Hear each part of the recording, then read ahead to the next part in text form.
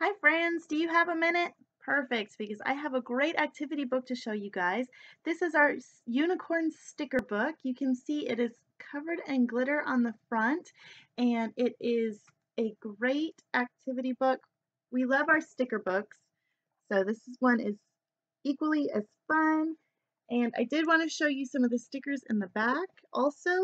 Now, only a third of the stickers, there's 12 pages, so only a third of the stickers have glittery, like hollow glitter on them, but they are still very beautiful.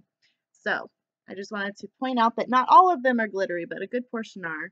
And the scenes are super fun to add stickers to. And even when you're all done adding stickers to your scenes, you can read the story at the top and it'll still be a book so you can keep it for a long, long time. You don't just put the stickers on and then throw it away.